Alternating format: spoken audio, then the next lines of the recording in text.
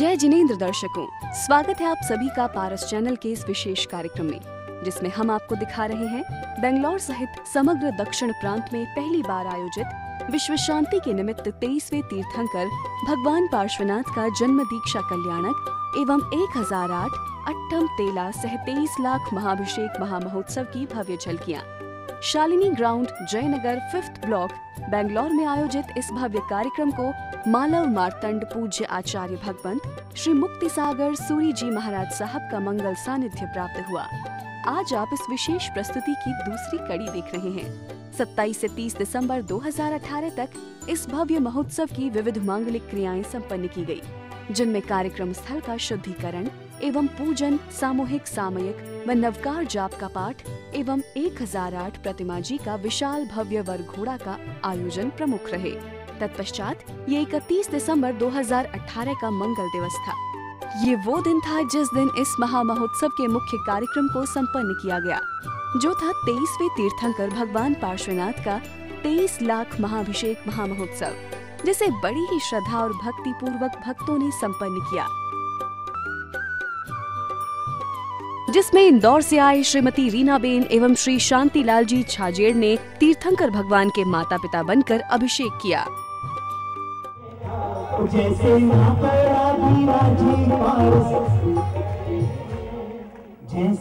कोड़ा विराजे मेरी सांसों में समाया पारस ना कोई।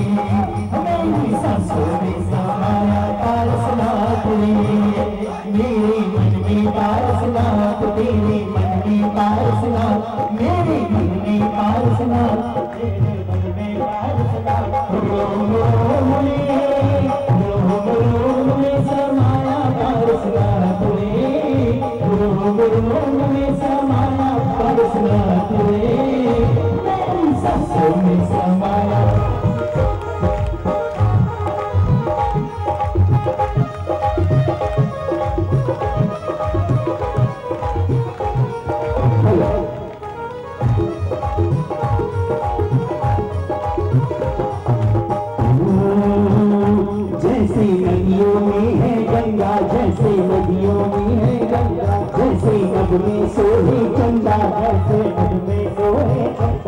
पत्ते पत्ते पे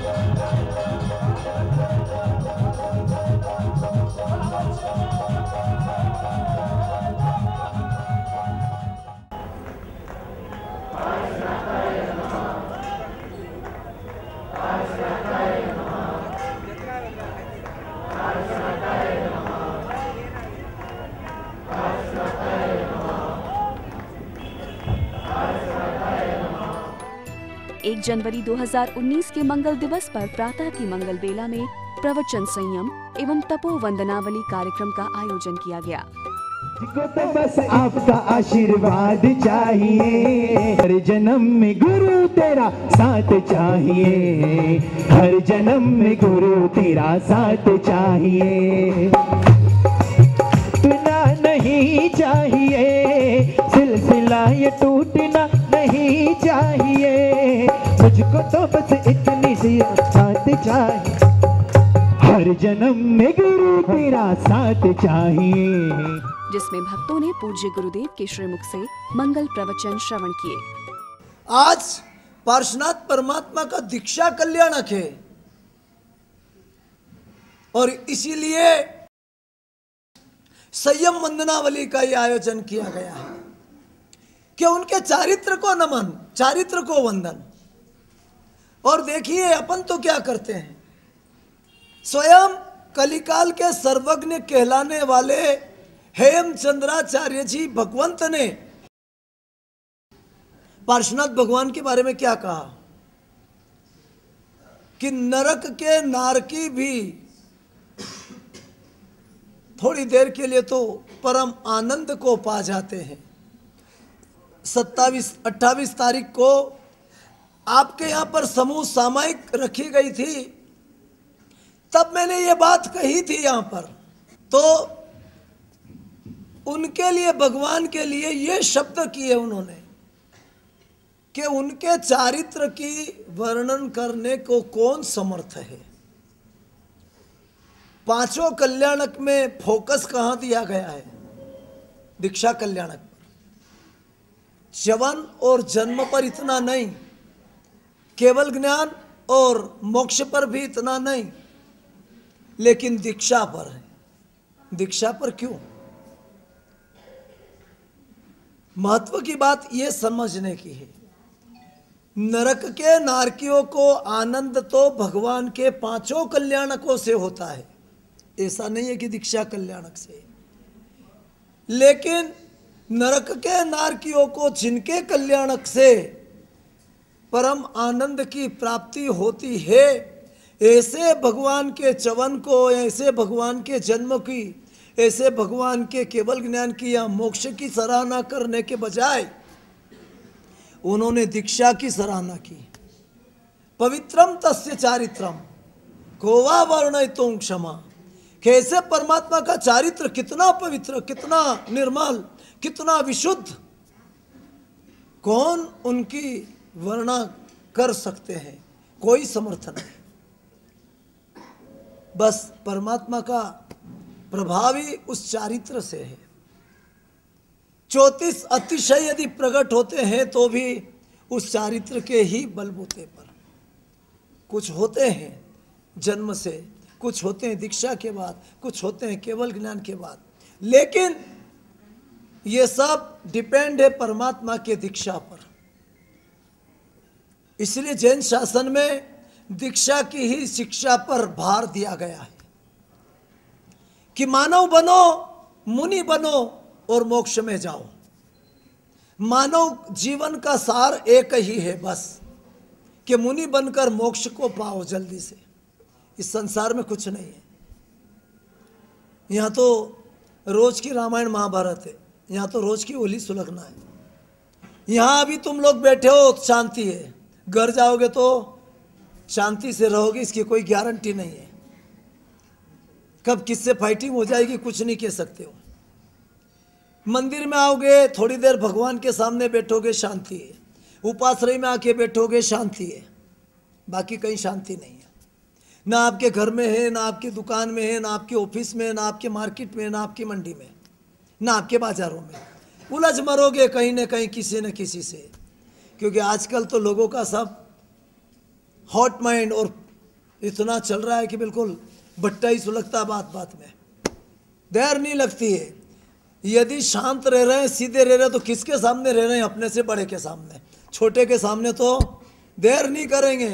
ओम नमो भगवते श्री